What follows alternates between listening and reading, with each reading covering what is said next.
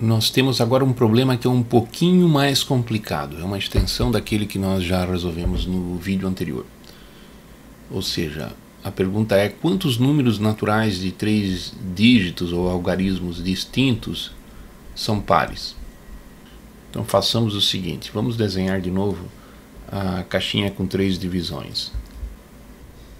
Existem vários jeitos de se resolver esse problema dependendo de qual divisão nós é, escolhemos como ponto de partida.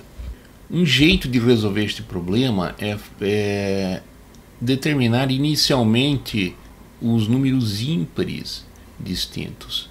E depois nós encontramos os pares, subtraindo o número total que nós já achamos é, anteriormente, e que era 648, né? subtraindo dos números ímpares, e aí nós temos os pares.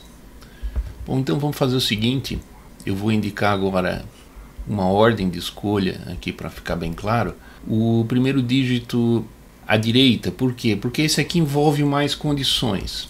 Quantas escolhas eu posso ter aqui para os ímpares? Então, nesta última casa, nós temos cinco possibilidades. Por quê? São os cinco números ímpares. Ou seja, o 1, o 3, o 5, o 7 e o 9 poderiam aparecer aqui. Agora, para a segunda escolha, em vez de usar a casa do meio, eu vou escolher a primeira. Então vou indicar, essa aqui vai ser a segunda escolha. Nós temos aqui possibilidades para todos os números, exceto, obviamente, o zero e o número que, ímpar que foi escolhido aqui. Portanto, nós temos aqui oito possibilidades. Agora, a última escolha se refere a essa casa do meio, e nós temos aqui então todos os números possíveis, exceto aqueles que foram escolhidos nas duas casas anteriores. Então, novamente, nós temos oito possibilidades.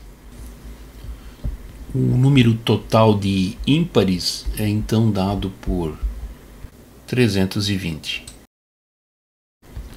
O número total de números de três dígitos distintos nós já determinamos no problema anterior e ele era igual a 648. Portanto, os números pares distintos podem ser calculados simplesmente subtraindo de n o número de números ímpares, ou seja, 328 números pares distintos. Vejamos agora o seguinte exemplo. Um código usa quatro letras e as palavras deste código podem ter de uma a cinco letras. Qual é o número total de palavras no código? Neste código nós temos então palavras que contêm uma letra, duas letras, três letras, quatro letras e cinco letras. Nós temos então quatro palavras possíveis com uma letra, porque nós temos quatro letras, nós temos quatro escolhas aqui para a palavra de duas letras. Nós temos a primeira e quatro para a segunda, porque elas podem ser, inclusive, podem ser repetidas sem problema nenhum. Então nós temos quatro ao quadrado possibilidades.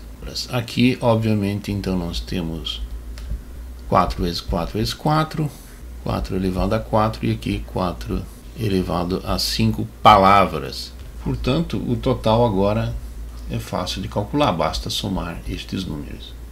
Isso aqui dá 1364 palavras no código.